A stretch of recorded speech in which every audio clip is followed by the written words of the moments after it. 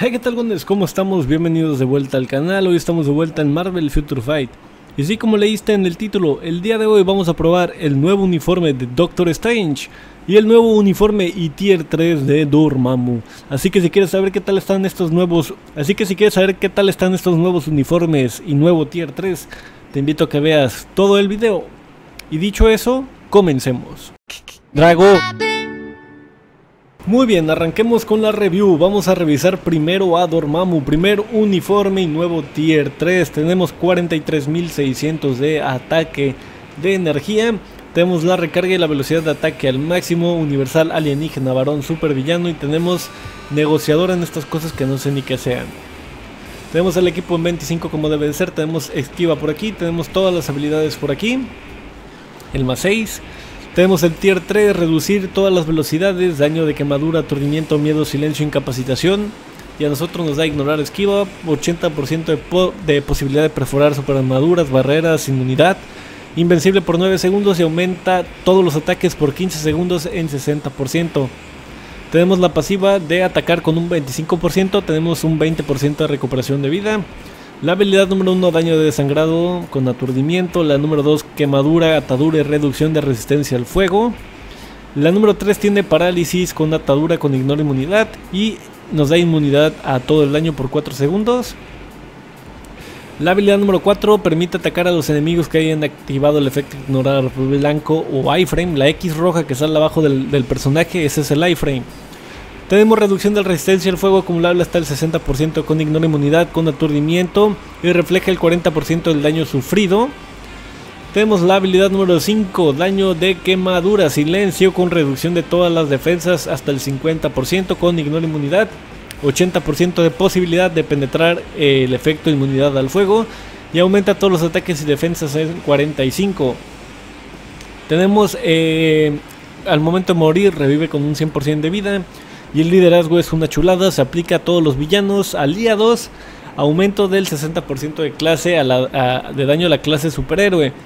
Entonces, por esta review, por este liderazgo, vamos a probarlo contra algún héroe en el jefe mundial. Tenemos por aquí puesto tipo 0, fuerza de Hulk CTP de ira y tenemos el uniforme en mítico. ¿Qué efecto nos brinda el uniforme? Cambia los efectos de la habilidad pesadilla, el liderazgo, y se aplica a ti, aumenta el daño de la habilidad en 40 y el adicional el 30, que normalmente esto viene en los tier 2. ¿Qué uniformes pide? El uniforme de Calavera, el uniforme de Jean Grey de X-Men Red, el uniforme de la Mujer Invisible de Future Foundation, el uniforme de Cable y Deadpool y el uniforme de Red Guardian de Black Widow.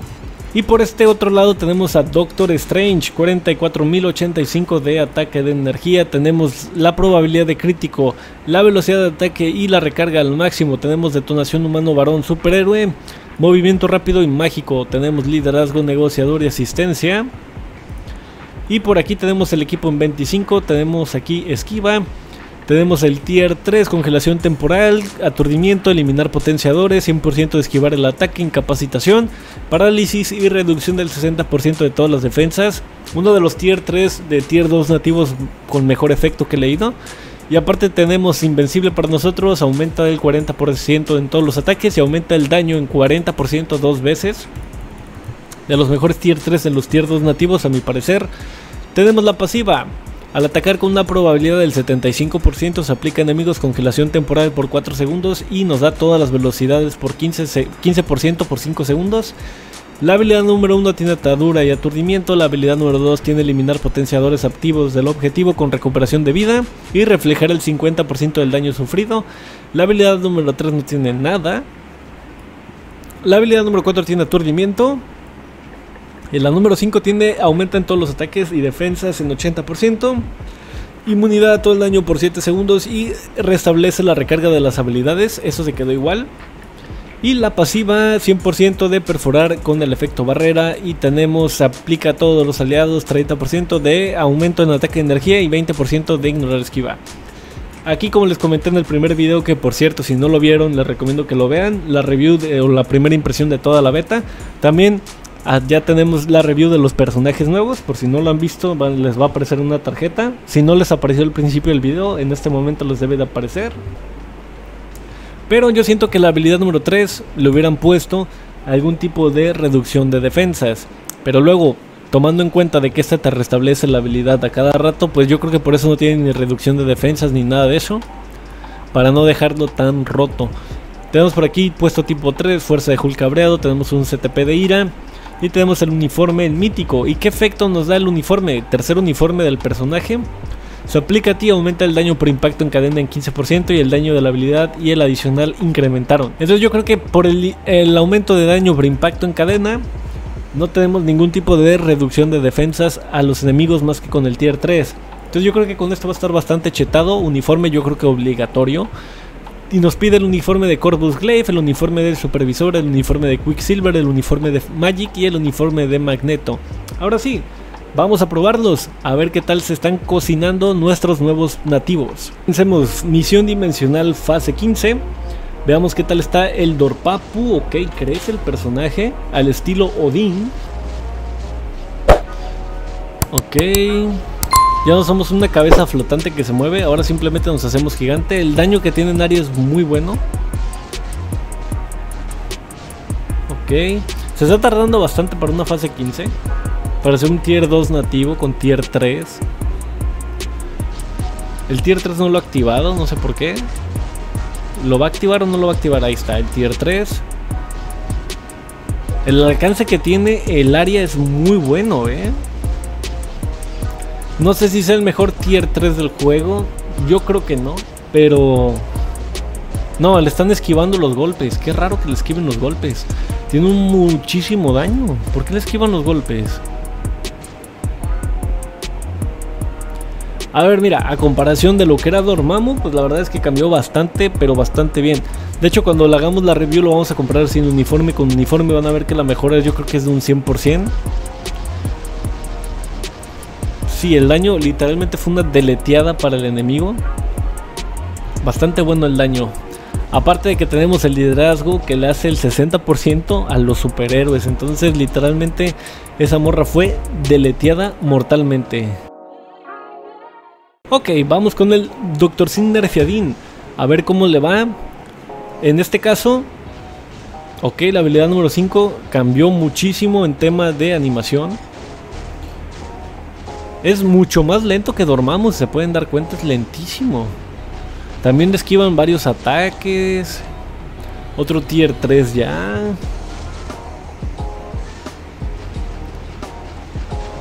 Como que la congelación temporal, o bueno, la habilidad número 5 sigue haciendo daño en área cuando es utilizada, lo cual está bien. No sé si esta mejora sea lo suficientemente buena para volver a recuperar su, mayor grado de top en, el, en la batalla de alianza, la verdad. No estoy seguro. Pero puede ser que sí nos sorprenda. Porque aparte hay cambios en la batalla de alianza. Que yo creo que eso lo voy a hacer en un video aparte hablando de esos cambios. Porque creo que sí cambió bastante. Todavía no he leído bien los parches, pero parece ser que sí cambiaron muchas cosas. Ahora, sí va muchísimo más lento que Dormammu. Este personaje para juego automático, si se fijan, es realmente horrible. El juego automático con Doctor Strange es feísimo. Y en tema de cambio de habilidades, como que no noto mucha diferencia a lo que ya teníamos. En plan, sigue estando a tú por tú con los enemigos, casi no se mueve. La habilidad número 4 la veo idéntica. El daño, a pesar de tener CTP de ira, no se me hace algo tan explosivo. Igual en el jefe mundial, pues notamos una gran diferencia, pero Ahorita por lo que estoy viendo la verdad es que no. O sea, el daño es...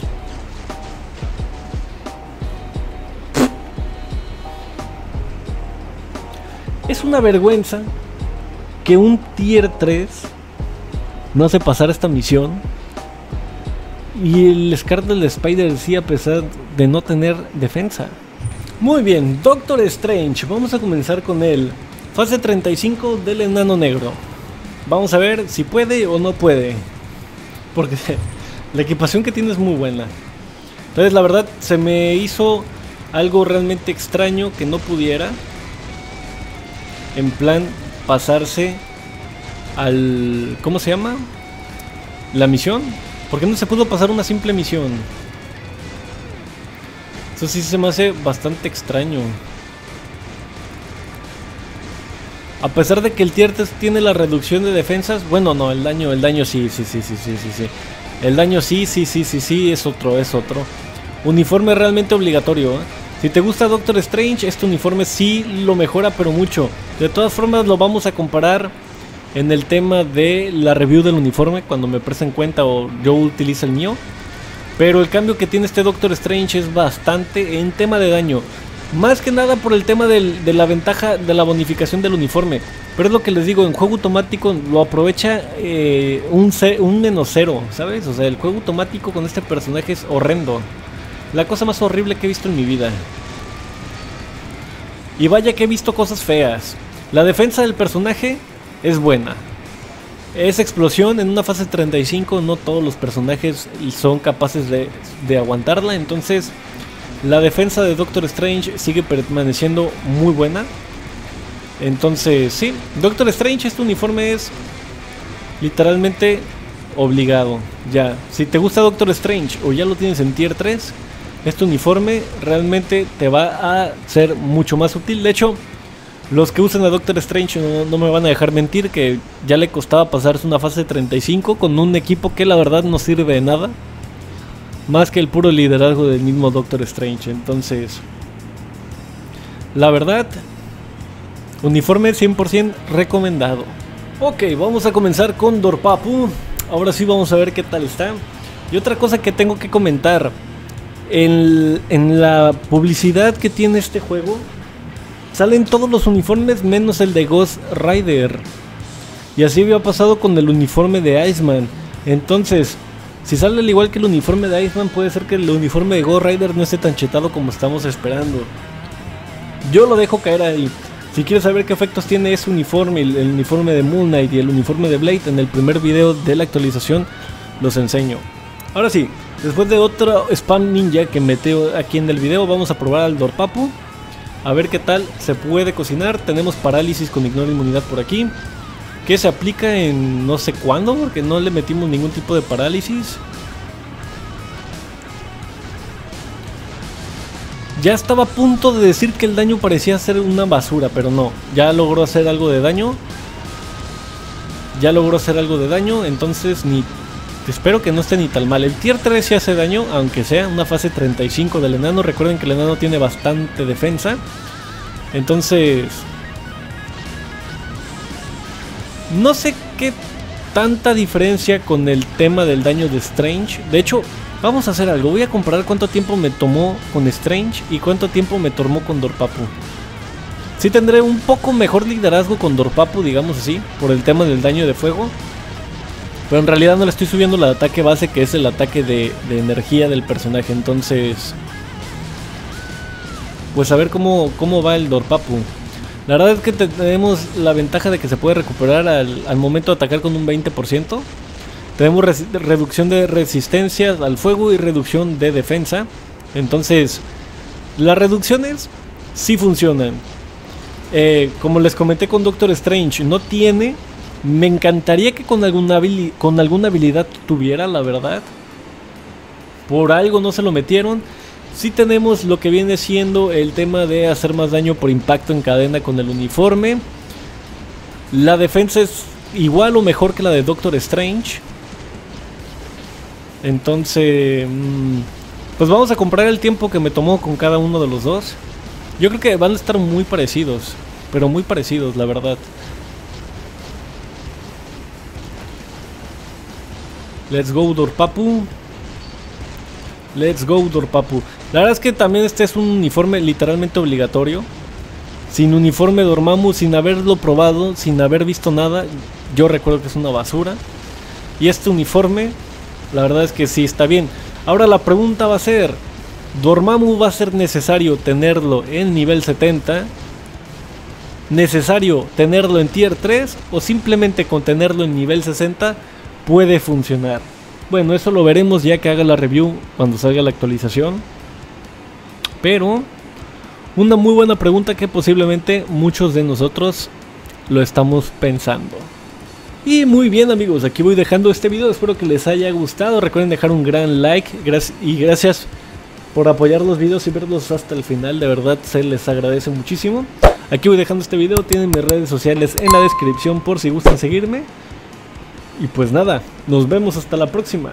Adiosillo, cara de pillos. Fin de la transmisión.